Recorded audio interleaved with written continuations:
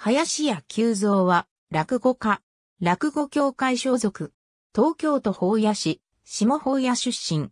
本名、木村智幸。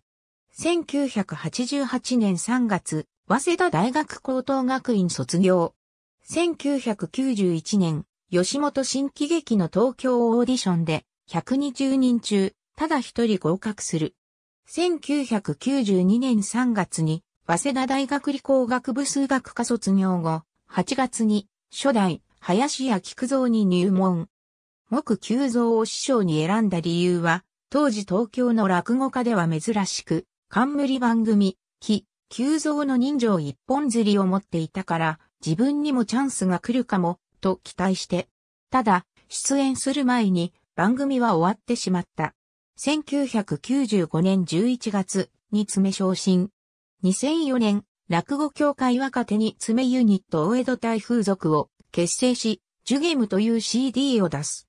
2005年2月、北トピア若手落語家協演会奨励賞を受賞。2006年3月に、柳家指導、柳家33、六代目竜亭左竜、三代目、柳家神五郎と共に、新内昇進。2005年から2006年にかけて、全国の地方局で放送、トップ劇、ラーメン機構リポーター、感動、ラーメンスタジアムナレーター、グルメ珍遊記、ナレーター、絶品、珍品、グルメ大爆笑、リポーターとナレーター、こだわりの一環、ナレーターとプチ活躍中。ありがとうございます。